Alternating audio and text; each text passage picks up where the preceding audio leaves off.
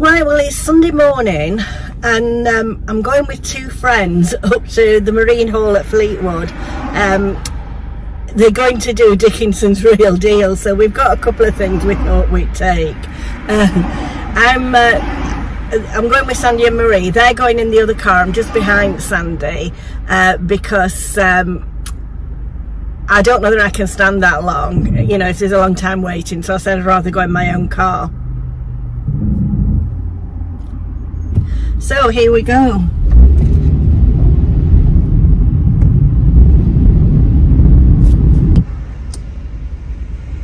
This is Cleveleys that we're going through now. And straight up to Fleetwood. Usually quite busy on a Sunday,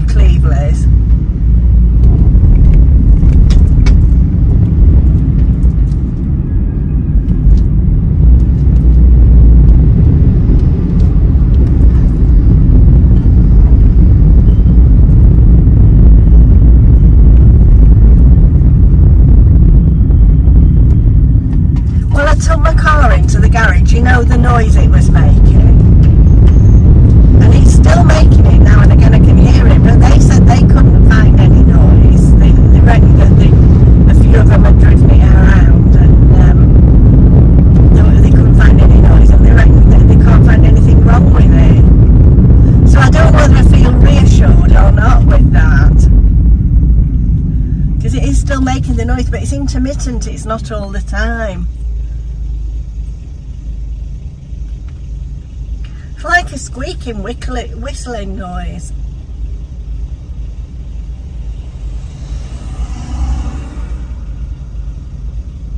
It's feeling quite warm now. The sun's not come out. It's quite cloudy.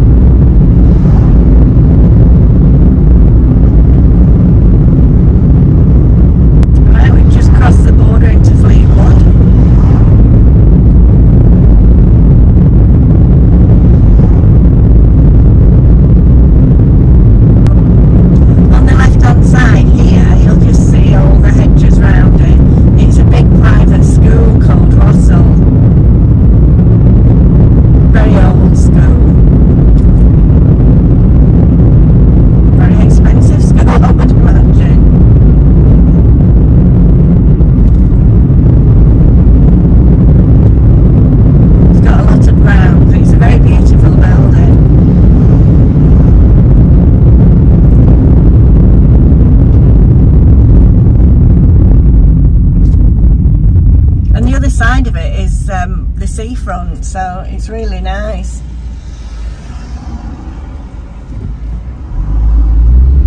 It says founded in 1844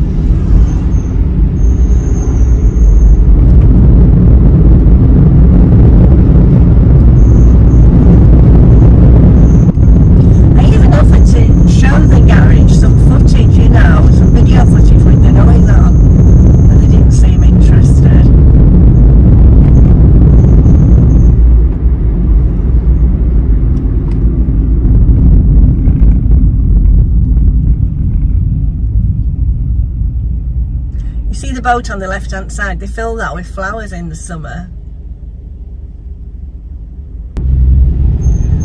I've had mixed response about the sound. A lot of people say they can hear it and then other people say they can't. So I don't know what the answer is. Probably the answer is to start doing voiceovers. I'll see how this one goes. You see, when I play it back, I can hear it fine. But but then I probably know what I've said, so it makes it easier.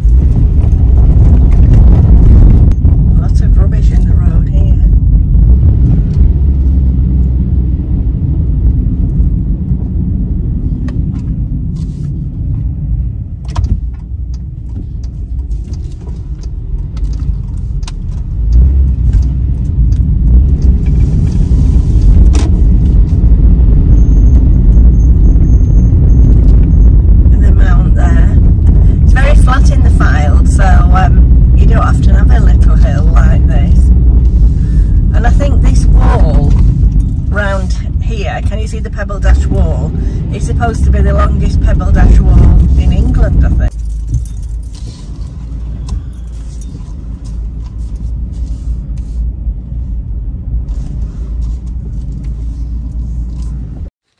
So here we are at the Marine Hall. Um, there is quite a queue outside, but it's not as bad as what I thought it would be. Um, so we, we're just waiting to go in. Um, I think they letting people in in sections. Um, it, inside, I didn't find out till afterwards, but inside there's like two big seating areas where you can go in and wait. Um, once you get through the first queue, I think the first queue took us about an hour and a half. Uh, this is Sandy, uh, the local. Um, uh, the the local paper were there taking photos, and she got her books out to show them. This is a man with an old Hoover or vacuum cleaner, whatever you want to call it. May not be a Hoover. and this is as we were going in. Um, you can see we're still queuing. You had to show your ID and everything and fill a form in in case you were filmed on TV. We wouldn't have been filmed, but I think some of the people were. Um, it it's going to be um four four shows I think are coming from this, and they're going to be shown in um, January. Um, everyone was really, really nice. Um, this is after we'd gone through the gone inside and then we went into another waiting area and then we were called through to this one. That was the entrance to go in. Um, and you can just see a sneak peek inside. David Dickinson did come out and talk to us a couple of times. And then this other lady, uh, I've seen her on the show, but I'm not sure of her name. Uh, she was very good. And she posed for photos with people. When David Dickinson came out, I couldn't get my phone out quick enough to film him, but he was so nice. He had a lovely royal blue suit on. Um, so here he is, she is po posing with uh, people for photos. It was really interesting. So that concludes our little trip to Dickinson's Real Deal. Um, the video got up to where we went through. Uh, you're not allowed to film inside, um, so I couldn't film anymore. Um, and uh, so what happened was when you went through, um, you took there was like a, a, great big desk with a couple of um, valuers on, and you took your item to them, and they told you what it was worth. Now this is what I took. It was an ornament that I've had for years. Um, it's a Royal Dux, it is. I knew it was Royal Dux. Um, and he said it was worth between 50 and 100 pound. He said that year, a few years ago it would have been worth a lot more. Um, but I suppose the fashions have changed and people want more minimalistic things now. I don't know whether I'd part with it because I think it's lovely. Um, even though I don't really have it out on display much. It was my great auntie's uh, and she gave it to my mum and I've got it now. I don't know whether any of my children would want it, probably not. Uh, but I think it's rather pretty. So that was like, they said at the moment that's worth 50 to 100. Um, now my friend had um, got lots of stamps and postcards and cigarette cards. Um, so I think they told her to take them to a, um, you know, a specialist stamp dealer. And then another friend had got a picture that she'd uh, got in France and I think she got a valuation for it. None of us were selected to go through to be uh, bid at, you know, because actually all they actually do is give you a valuation. But I do think they select so many to go through, you know, to where they get offered money. Uh, but sadly, none of us did. But it was a very really enjoyable day. We did really enjoy it. It was a bit different. So if it comes to your area, I recommend that you go, you know. And they did say that they would see everybody. They came out and they kept saying that they've never had such a big response. Um, and they were really pleased, you know. And David Dickinson came out a couple of times, like I said before. Um, and so it, it was really nice. It was a nice day. Um, now, um, what I'm going to do before I finish, because I keep forgetting to do this, uh, do you remember the Just Spices box that I said I was going to give away? Um, well, I'll do the draw for that now. Um, I've got it all sealed, uh, ready to go. Um, it just needs wrapping and putting the um, the address on of the winner. So we'll do that now. And I may have some very exciting news shortly for one of you, um, just uh, for one of you from Just Spices. So watch this space. Uh, so now I'm going to do the draw. Right, let's try.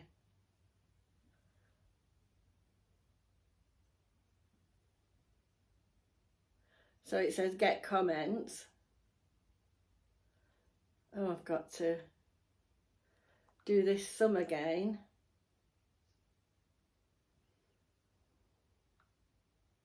And get YouTube comments.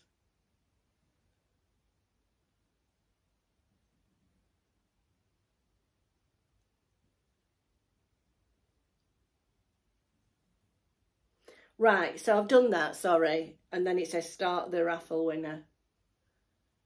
Can you see it's going through them all? Carol Sh eh, Shobs, S-C-H-O-B-S. Carol Shobs.